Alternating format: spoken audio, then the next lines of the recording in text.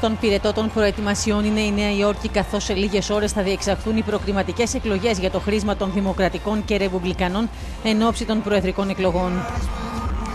Η υποψήφια για το χρήσμα του Δημοκρατικού Κόμματος Χίλαρη Κλίντον και ο υποψήφιος του Ρεπουμπλικανικού Κόμματος Ντόναλτ Τραμπ αναμένεται να επικρατήσουν με άνεση στις προκριματικές εκλογές αυτής της Σούπερ Τρίτη. Στην τελευταία ομιλία της από το νοσοκομείο Γιόνκερ, η Κλίντον τόνισε τις διαφορές μεταξύ του δικού της προγράμματος και των αντιπάλων της, λέγοντας πως ούτε ο Τέντ Κρούζ ούτε ο Ντόναλτ Τραμπ μπορούν να απευθυνθούν στους σκληρά εργαζόμενους πολίτες της Νέας Υόρκης.